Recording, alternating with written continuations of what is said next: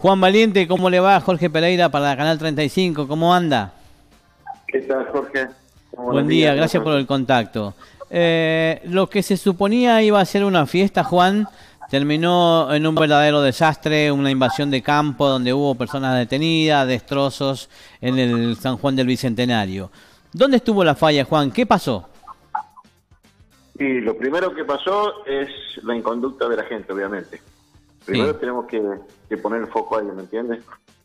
Este, aquel que va a una cancha de fútbol a ver un espectáculo, paga su entrada para ir a ver un espectáculo, no para ir a invadir ni para hacer destrozos en un campo de juego. Eso sería la conducta de, personas civilizadas que van a, a ver un espectáculo. Después, obviamente, que se arma todo un operativo para también brindar la seguridad ese de que el espectáculo eh, salga en condiciones, pero bueno, todo eso se vio superado ayer por la presencia de, de hinchas del Club Unión, que no son todos, que no son todos, quiero aclarar también eso, pero sí son un número importante de personas que, bueno, tenían la decisión ya de, de invadir el campo de juego. Para ellos lo que hicieron fueron romper el alambrado olímpico del estadio, como así también las puertas, este, para poder ingresar al estadio, ¿me entiendes? Entonces eso fue lo que sucedió ayer. Bueno, eh, a ver, eh, por ahí muchas veces uno se toma o la difícil la decisión de que hayan hinchas de ambos lados justamente porque era una final, pero como dice usted Juan, la verdad que un grupo de, de hinchas eh, terminó empañando lo que supuestamente iba a ser una fiesta del fútbol sanjuanino con un torneo que había sido bastante, bastante parejito, bastante competitivo y bueno, y que termine de esta manera, la verdad es que no da muchas ganas de, de seguir de seguir trabajando para que la gente, los hinchas vuelvan a las canchas de fútbol. Sí, a ver, la gente por ahí no sé si, si dimensiona lo que significa armar un campeonato, estar todo un año trabajando para esto, ¿no? Lo que eh, la conclusión final es que dos equipos, los dos mejores equipos del torneo, en un torneo, como le dijo usted, demasiado atractivo, que hasta la última fecha tuvimos que este, colocar nueve partidos en forma simultánea porque no sabemos los clasificados todavía. Ya desde lo futbolístico, realmente muy atractivo el torneo, pero bueno, lamentablemente suceden este tipo de cosas y como vos decís, no en vez de adelantar, atrasan, porque venimos trabajando para que la gente vuelva al campo de juego, para que la gente con la familia, y esto que hoy tenemos que estar hablando, que es de público conocimiento, porque bueno, estaban todos los, los medios de transmisión, y estábamos todos los que pertenecemos al fútbol viendo esta verdadera fiesta, nos tenemos que ir este, con la tristeza ¿no? y la impotencia muchas veces que generan ese tipo de cosas. Que empañaron obviamente su propia fiesta, porque en definitiva exacto. era así era la fiesta de Unión, había salido campeón, creo que vienen haciendo una muy buena campaña este año. Y bueno, lamentablemente ellos mismos son los que este, colocan este, este, este color, por decirlo de esta manera, eh, negro oscuro, a, todo a todo el colorido que estábamos viviendo, ¿no? Así que Lamentablemente no, no pudimos hacer la entrega de premios como lo teníamos planificado dentro del campo de juego para que la misma eh, gente de Unión pudiese festejar. Así que bueno, terminamos este, todos en el vestuario, por ahí bueno la gente de Unión festejando dentro del vestuario, los jugadores y cuerpo técnico nada más. Juan, ¿cómo usted como presidente de la Liga San Juanina de Fútbol va a esperar el informe del árbitro, del informe de la policía? Por seguramente, no fundamentalmente por lo que pasó, porque ya estaba hecho, pero los daños que quedó en el estadio de San Juan del Bicentenario. Eh, ¿Va a esperar el informe para ver a qué club el que se haga cargo de esto? No, los clubes se tienen que hacer cargo de los destrozos que han hecho en el estadio Bicentenario. Eso es sin duda que es así. ¿Me entiendes? Nosotros ya desde ayer nos estaban, desde anoche nos estaban pasando imágenes de la administración del estadio de los destrozos que se habían hecho, que son bastantes. Sí, sí, sí, sí. Eh, y obviamente que el compromiso de la liga es asumir con esos, con esos costos, pero la liga le va a trasladar el costo directamente a los clubes. Ya sea de Unión o sea de Cobra Time, las rupturas que pertenezcan a cada uno de los sectores, será responsable de cada institución. Y hoy analizaremos también en Liga San Juanina con todos los dirigentes este, si corresponde tomar medidas, no corresponde, pero yo creo que algo tenemos que hacer para poder ponerle un freno a todo esto, ¿no? Así que seguramente tendremos que analizar alguna posibilidad de sanción o cuestiones así, como para que estas cosas no se van a repetir en el futuro. Claro, porque muchas veces los mismos dirigentes de los clubes dicen, no, el presidente y toda la comisión de la Liga San Juan de Fútbol eh, nos tiran en contra los clubes, pero es que, es que esto no, si no se toma mano dura, no se va a cortar nunca lo que es la violencia en el fútbol.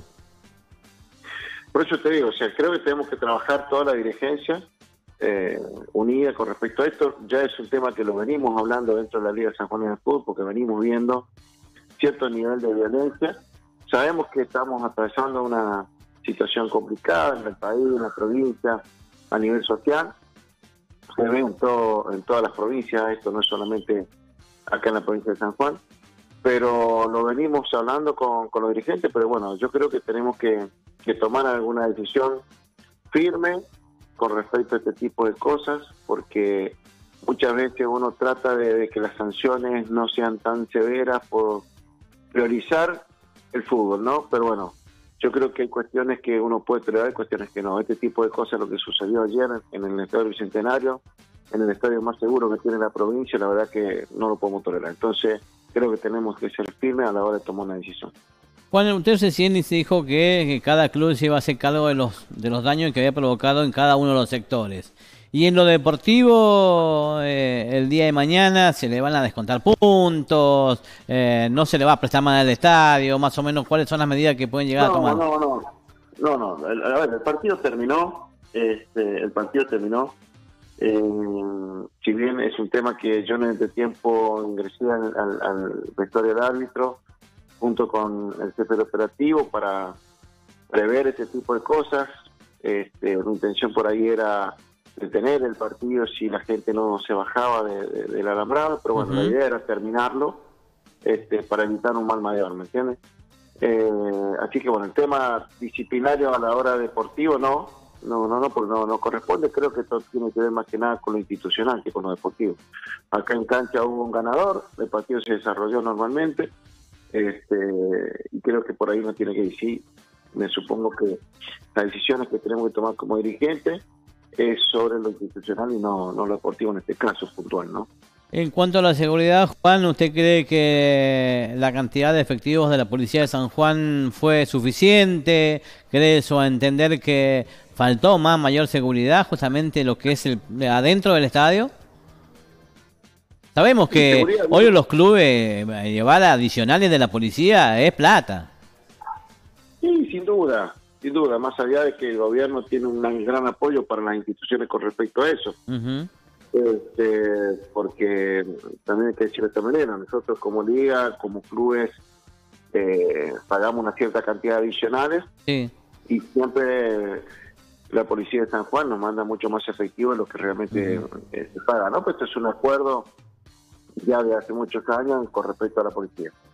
Pero, a ver, yo creo que sí, obviamente que sin duda se vio superada la, el operativo policial que ayer teníamos, pero también, como lo digo, o sea, no podemos tener un policía para cada ciudadano. Cada, hincha, exacto, sí. Entonces, Esto, es, esto es lo que por ahí genera esta impotencia, ¿no? Estas cosas que, que, ¿qué es lo que tenemos que poner? O sea, más policía que gente para que no sucedan las cosas. Exacto.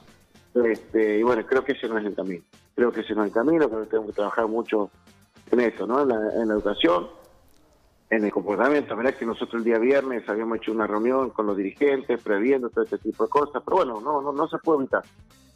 este, lo que, o sea, yo creo que se puede evitar, pero bueno, hay que seguir este, trabajando y como dije recién, tomando medidas diferentes a las que hemos venido tomando. Entonces, este creo que acá, a la hora de, hablar de algún tipo de sanción o cuestiones así, creo que tenemos que hacerlo, tenemos que ponerlo riguroso, este, para que la gente tome conciencia de que eh, antes de hacer algo, quien va a perjudicar a, su propia institución. Entonces, este, creemos que esa puede ser una de las posibilidades.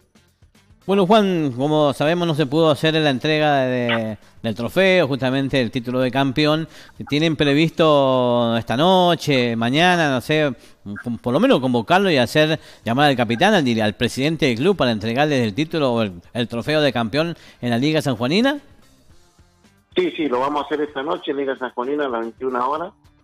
Así que esta decisión la tomamos anoche en, en el estadio y bueno, hoy día a la mañana ya seguramente vamos a hacer la convocatoria a, los dos clubes para que estén presentes en, el Día San Juanina, como así también a los familiares de Toto Herrera para entregarle la placa que teníamos intención de hacerse ayer en el campo de juego.